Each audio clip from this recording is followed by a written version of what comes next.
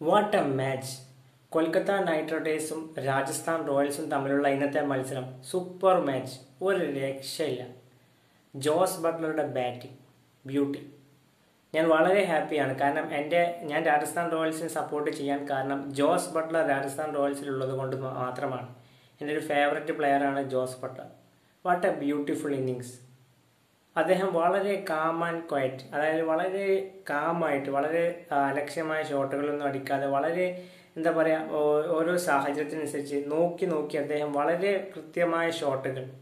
ഒന്നും പറയാനില്ല. അവസാനം വരെ അദ്ദേഹത്തിന്റെ ഒരു അതുമാത്രമല്ല അദ്ദേഹത്തിന്റെ ഐ പി എല്ലെ ഇന്നത്തെ ഒരു സെഞ്ചുറിയോട് കൂടി ഏഴാമത്തെ സെഞ്ചുറിയാണ് അതുമാത്രമല്ല ഈ ഒരു സീസണിലെ രണ്ടാമത്തെ സെഞ്ചുറിയും കൂടിയാണ് ജോസ് ബട്ട്ലറുടെ ബാറ്റിംഗിൽ നിന്ന് വരുന്നത്.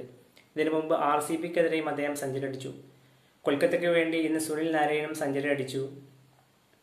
വാട്ട് എ മാച്ച് ഒരു കംപ്ലീറ്റ് ടീം അതായത് ഇന്ന് രാജസ്ഥാൻ റോയൽസിന്റെ ബോളിംഗ് പെർഫോമൻസ് നോക്കുകയാണെങ്കിൽ ബോളിംഗ് വളരെ മോശമായിരുന്നു എടുത്തു പറയേണ്ട കാര്യം തന്നെയാണ്. ബാറ്റിങ്ങിലാവട്ടെ ജയ്സ്വാൾ ഒരു മികച്ച തുടക്കം നൽകിയെങ്കിൽ പിന്നെ അൺഫോർച്ചുനേറ്റ് അദ്ദേഹം വിക്കറ്റായി അതുപോലെ സഞ്ജുവിന്റെ വിക്കറ്റ് നഷ്ടമായി.